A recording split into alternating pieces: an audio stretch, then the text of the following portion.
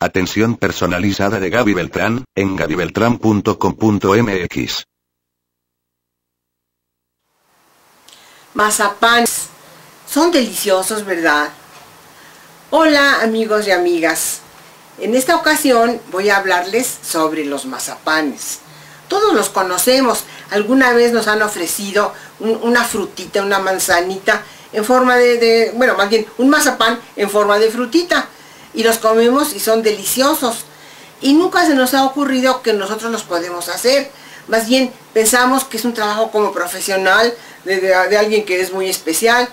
Pues yo vengo hoy a mostrarles a ustedes qué fácil es hacer el mazapán y hacer con el mazapán una serie de cosas bonitas, útiles, que están de moda, porque los, los recuerdos para bautizo, primera comunión, siguen estando de moda. Y ahora imagínense de mazapán, que bueno, que nuestros invitados se los van a poder comer, van a estar encantados con los deliciosos que son. Miren, por ejemplo, aquí tenemos unas brochetas, las brochetas que ya las hemos hecho de otros materiales. Bueno, pues ahora hechas exclusivamente con mazapán, ensartadas igual.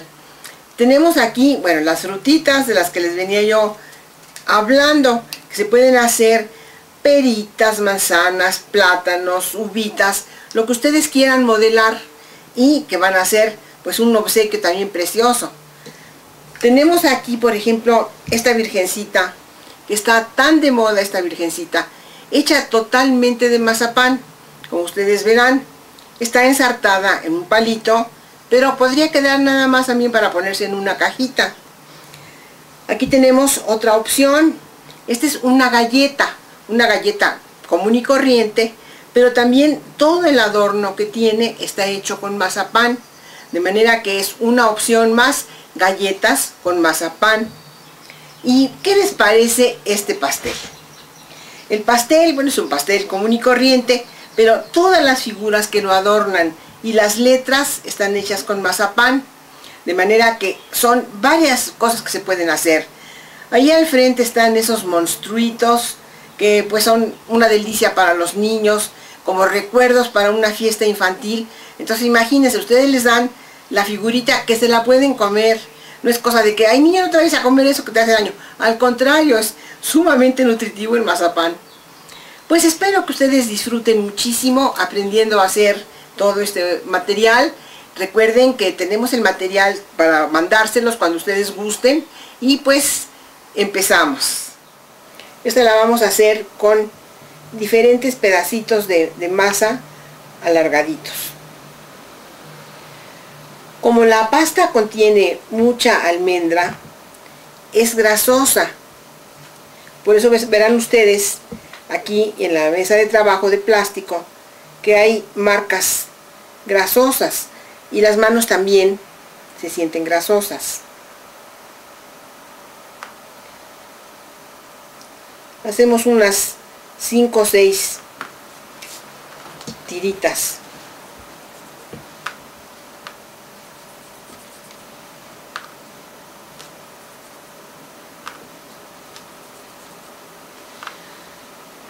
Aquí mismo que hacemos una sumida. Y ahora colocamos las hojitas de la fresa alrededor de la frutita pueden ser unas 4 o 5 nuevamente sumimos aquí. Y le podemos poner un tallo. Esta fresita pues también tenemos que hacerle marcas para que de veras se vea como fresa. Las frutitas una vez terminadas se pueden endurecer si las dejamos destapadas, lo cual no importa en el caso de comerlas, pero si queremos que sigan suavecitas, habrá que taparlas, envolverlas. Bueno, y bueno, pues hemos hecho pura, pura frutita, vamos a hacer una verdura, pero todo es parecido. Miren, ¿qué les parece si hacemos un chícharo? Vamos a preparar primero los chícharos.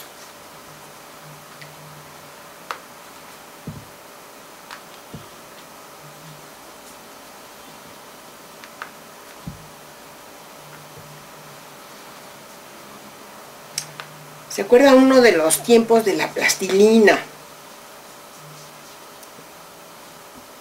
Porque más o menos se maneja igual. Vamos a hacer la hoja del chícharo. Entonces, siempre una bolita primero, luego una pieza alargada y la vamos adelgazando.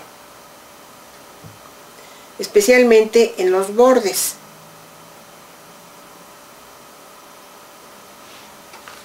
Aquí colocamos los chicharitos y cerramos. Miren ustedes qué simpática vaina de chícharos para comer.